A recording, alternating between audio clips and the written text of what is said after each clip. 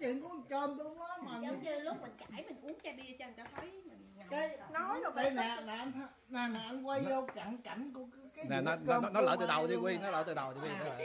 Nó lỡ- tới chảo bây già để bác sĩ. Đó đó đó đó đó. là là xuống là là có dĩa cơm cô mai. Đó. Bếp của mai. Biết cô mai. Mai là phải dĩa cơm nói mày chút xíu mày về mày nhớ ăn dĩa cơm.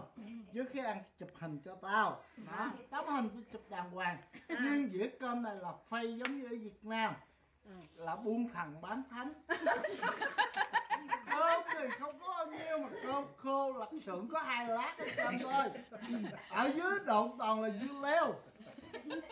Dưa chua lấy của bà ngoại bà ngoại không làm dưa chua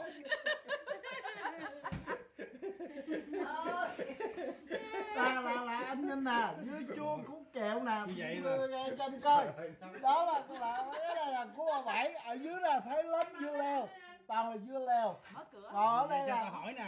Vậy phải biết cô Mai chuyên môn lấy đồ của bà Bảy là làm không? dạ dạ dạ dạ dạ dạ đồ của bà Tao bảy. Tao nghe đồn vậy nhưng mà- dạ dạ. Giống như là cơm chiên cải giò bánh xèo bánh khọt là của mẹ tôi là bà bảy. Bà Bảy nhưng mà mà- Mẹ tôi là bà Bảy. Cô Mai cứ lấy là mình Mai. nói á có mì thợ giòn ăn tao con mày luôn á.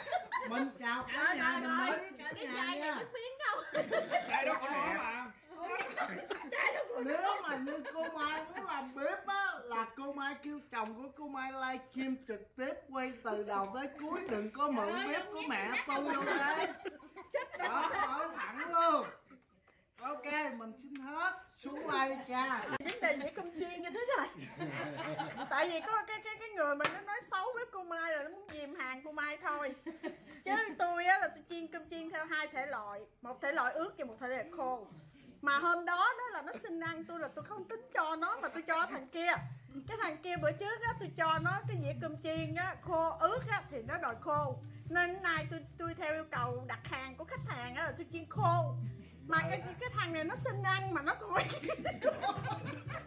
cái gan của nó mới gáp nên nó ăn cái khô nó không có chịu được. Đó nó quay quay quay mày mày mày nói xuống vô mày mày mới có ăn đó. tôi đây là người chứng kiến đây. Chuyên môn ăn bếp của mày rất là ngon. Lại luôn rồi này.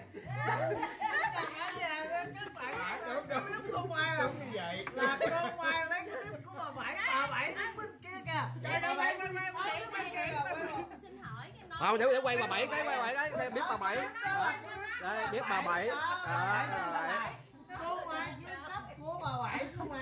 rồi đây rồi. Là nhân cứng mỗi ngày luôn đây là À. ngon hay không? Rất là ngon.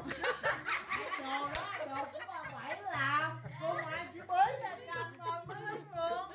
Vô.